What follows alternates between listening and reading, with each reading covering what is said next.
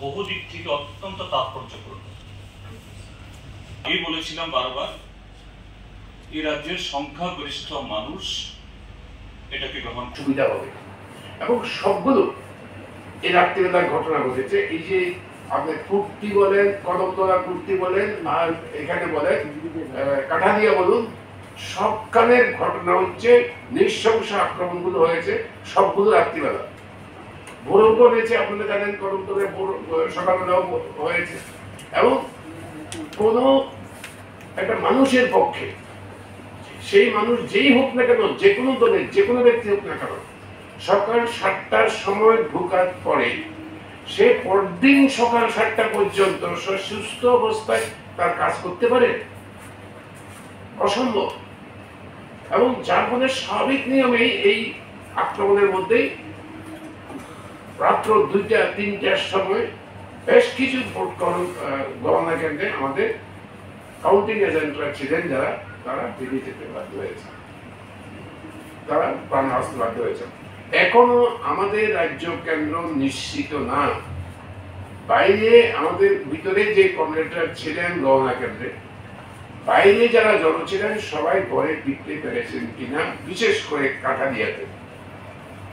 কাঠালিয়াতে বাইরে যে আক্রমণটা হয়েছে, এটা তো বর্বরতম ঘটনা। এটাতে শুধুমাত্র আমাদের ক্যাম্পের উপরে বা আমাদের লোকরা বাইরে যেখানে জড়ো হয়েছিল, তাদের মুখোমুখি তাদেরকে আক্রমণ করা না। পথচারী আশপাশের বাড়ি এবং আমাদের ক্যাম্পের যারা ছিলেন সবাই বনে, জঙ্গলে, বিভিন্ন জায়গায় সোনামুরানা তার বাইরে মহকুয়ে গিয়ে আশ্রয় দিতে বাধ্য হয়েছেন এবং সবাই রাত্রে বসে আমাদের পেশেন্ট যে এসছে এখানে। রাত্রেবেলাও পেশেন্ট বিভিন্নভাবে বিভিন্ন কাজে এখানে আসতে হয়েছে। তো এরকম বড় বড় ঘটনা কি ঘটেছে?